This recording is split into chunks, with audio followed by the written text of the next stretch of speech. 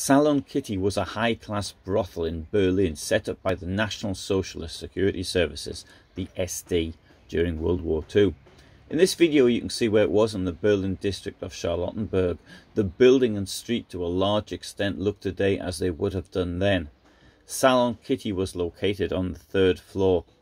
Unfortunately on the day of my visit there was a lot of scaffolding outside so we can't see the building very clearly. What went on in Salon Kitty in Berlin during the war is largely left to the imagination. There are so many stories, it is difficult to sift through what is true and what isn't. Reinhard Heydrich and Walter Schellenberg had vivid imaginations, and after the war, Schellenberg's memoirs appear to be more of a novel than reality. I need to point out that there's no archival evidence that I am aware of for this story, but there is physical proof as well as the recollections of one lady who worked there. One person, however, did claim there was archival evidence. Novelist Peter Norden published a fact report in 1970. The intimate conversations between the ladies who worked in Salon Kitty and their clients were recorded on wax plates in the elaborately wired basement, and according to Norden, thousands of them were under strict supervision and control of East Germany's state security service. That was easy enough to say in 1970, but since then East Germany has become a bad memory and no trace of the supposedly unique archive has surfaced, neither surviving wax plates nor any records of their existence, not even lumps of wax. Even in the thousands of sacks of destroyed Stasi files, there's nothing that indicates the existence of such a stock. Of course, Norden could not have expected the DDR to crumble so quickly, and this rather spoiled his story. However, there were problems with Norden's story even in 1970. Each wax sheet of the type used in the early 1940s held four and a half to five minutes of recording at very most. So the wiretapping experts would have had to put on dozens of records during every hour visit. And even if the Gestapo had used the magnetic tape recorders, which had only just been introduced in 1938, the Gestapo officials would have been forced to change the tapes three times an hour. Then the maximum recording time was 22 minutes per 1000 meter tape.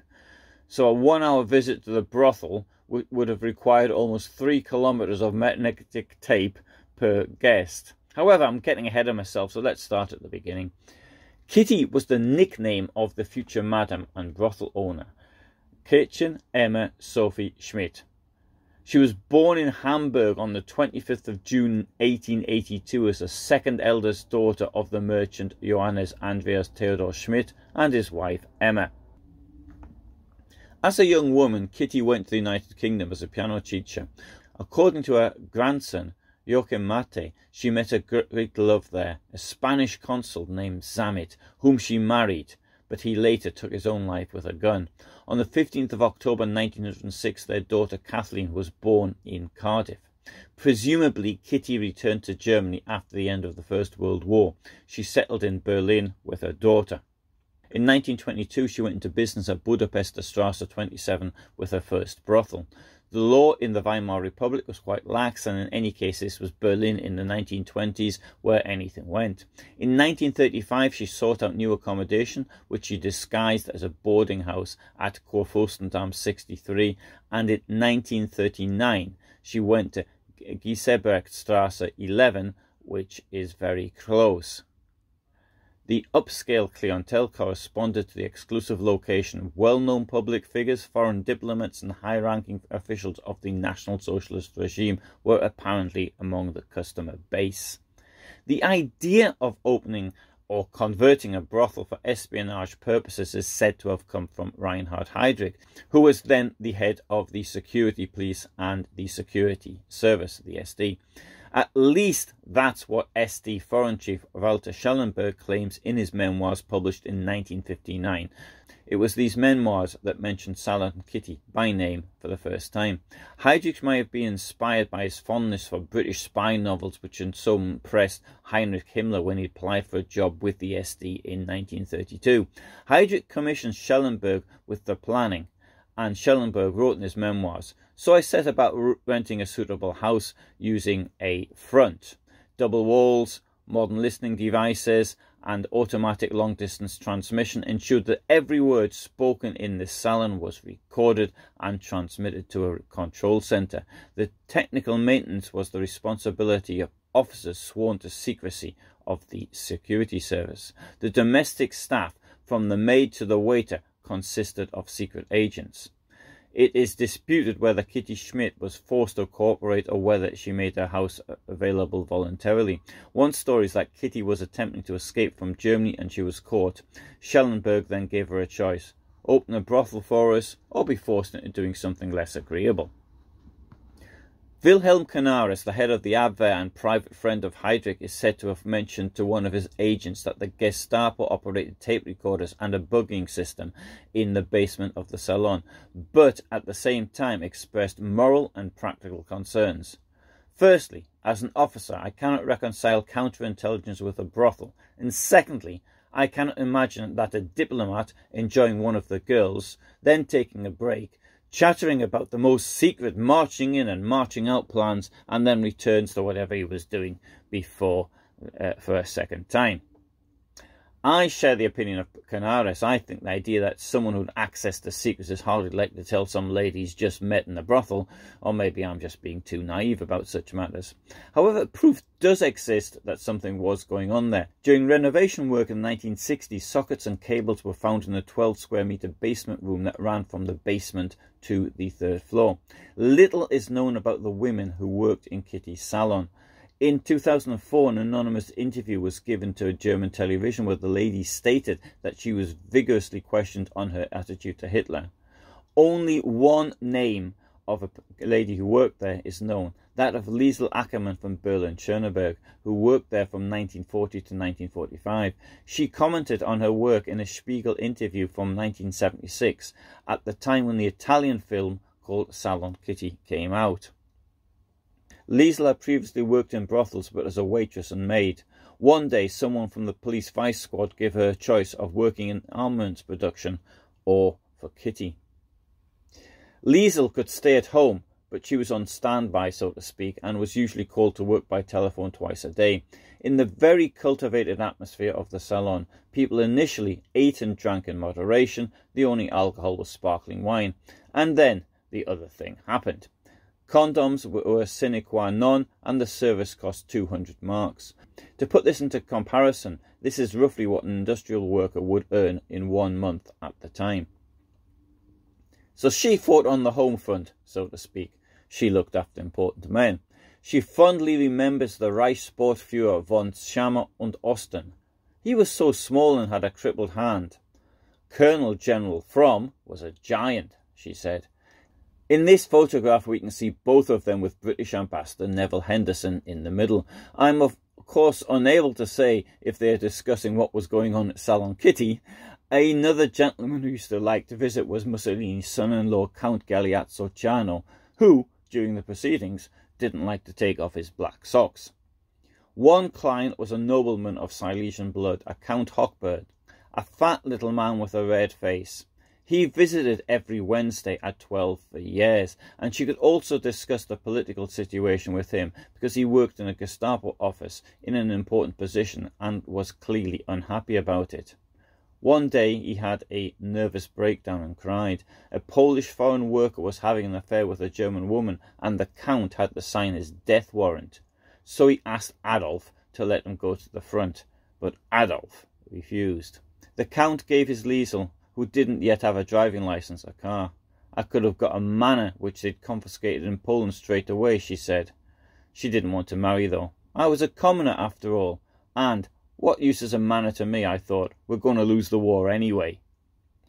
From this description given in the 1976 interview, I've been unable to trace who the Count may have been.